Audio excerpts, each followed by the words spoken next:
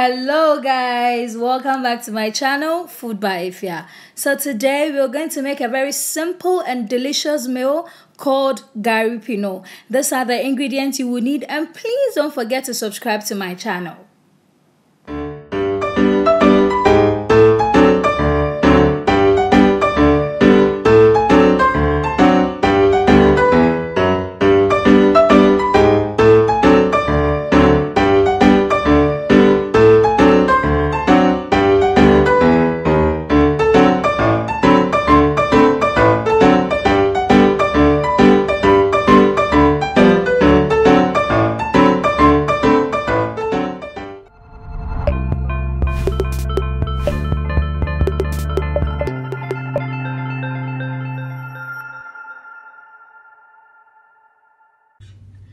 Okay guys, so first we're going to put our chicken in the oven.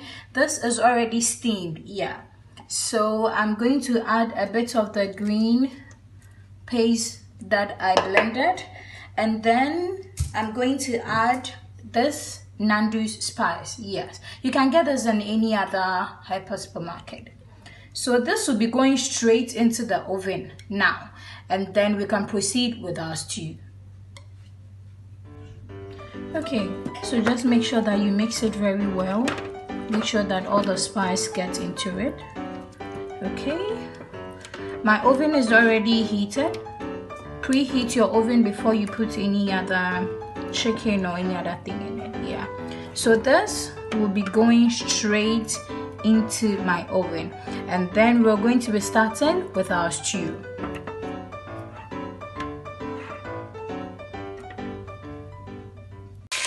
Okay, so I use the same pan for, I use the same pan which I use for the steaming of the chicken. I'm going to throw in my onion.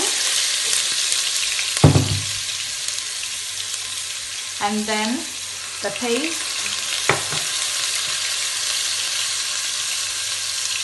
Add my tomato paste. Give it a nice stir.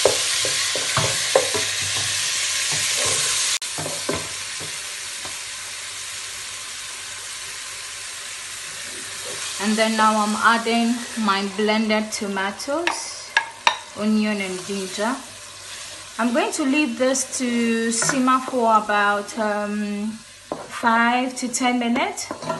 And then we get it done.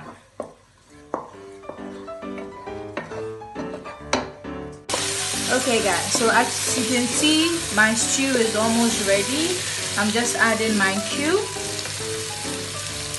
and then the rest of the vegetables. I give it a nice stir. I'm adding my stock. This is the stock I got from the chicken. So this will be like the base for the piñon. Yes. So I'll be adding hot water to it. Yes. And then I'll leave it to boil for some time. And then I'm going to add the gari. Adding just a teaspoon of salt, sorry, a tablespoon of salt. Give it a nice taste. So this is actually going to be on a high heat, yeah.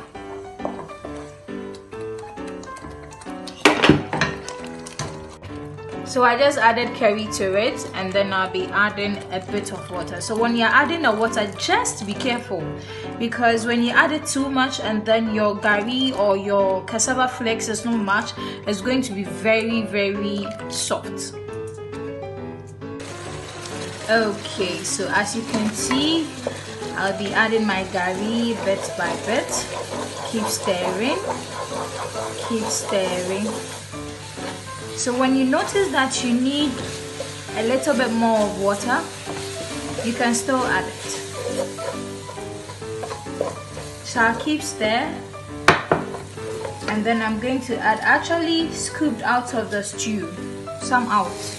So I'm going to add it bit by bit to it to make sure that my gari piñon is very soft. Keep stirring.